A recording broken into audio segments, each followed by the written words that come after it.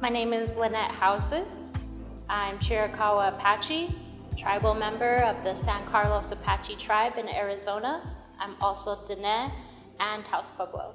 I grew up on Arizona Reservation, Apache Reservation in Phoenix, and I've grown up here in New Mexico, in Taos Pueblo, and in the Four Corners in the Navajo Nation. I'm mostly known for my murals. I'm based here in Albuquerque, New Mexico, and I create large-scale paintings in public spaces in an effort to rematriate spaces. I've always been an artist. Uh, I've been an artist my whole life. I think it's all about creating different mediums to express yourself in. So I've done so many different artistic expressions from, you know, screen printing to acting to theater to now it's more into fine arts and public art and large scale paintings. So, you know, all my life I've always been creative and now I'm really focusing into uh, my painting and large scale murals and public art and really bringing into representation of Native people and, and, indigenous rights as well. And I graduated from New Mexico Highlands uh, University with my social work degree.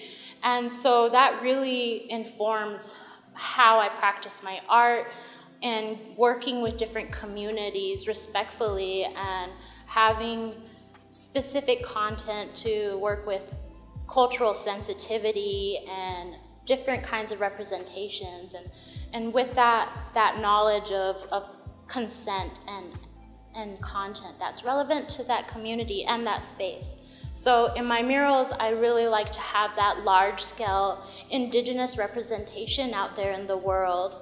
When I was little, I was fortunate enough to see large scale representations of Native people in sculptures throughout Phoenix when I was small, and that really played a part in how I grew up and how I saw myself as a Native woman.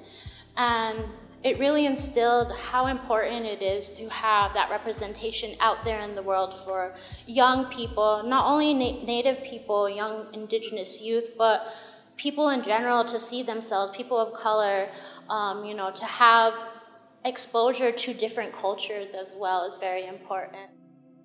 So the piece behind me, the mural behind me, is here at 516 Arts in Albuquerque, New Mexico. And it is part of the exhibition, Southwest Contemporary's, 12 New Mexico Artists to Know Now, 2023. And I am honored to be one of the artists this year. And for this piece in this exhibition is called She Walks with the Sun and it is about a 22 foot high piece uh, by about 18 feet wide. And it took me about seven days, and every mural is different um, depending on the size and the scale and the design. But this piece in particular, it took me seven days, and I'm really proud of it. It really uh, speaks to my Apache culture and that large scale matriarch representation.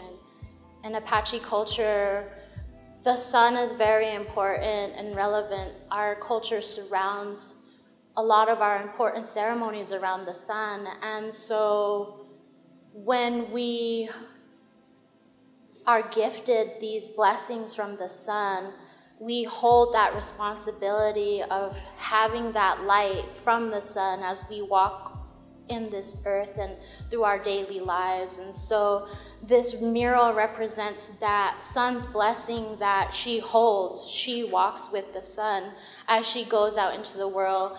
It's about holding your light and holding on to your light in this world and holding on to your gifts and not being afraid to shine your light. Um, you know, this piece is really site specific and temporary and I think that's kind of the beauty of murals sometimes. I call them, you know, ephemeral, you know? They're temporary and sometimes you just catch them in that moment. And, and that's really beautiful too of, of that moment in time. And, and that's the name of the mural game as well as when we do murals, it's like giving it to the community.